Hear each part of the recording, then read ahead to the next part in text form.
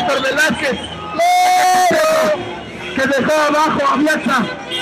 Héctor Velázquez es el que no permitió que Mexicana de Aviación volara en su pueblo charter.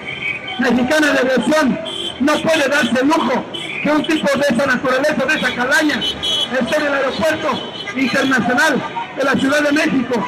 Era muy, muy amante de Felipe Calderón, era muy amigo de Felipe Calderón, pero en estos momentos que se vaya la chingada.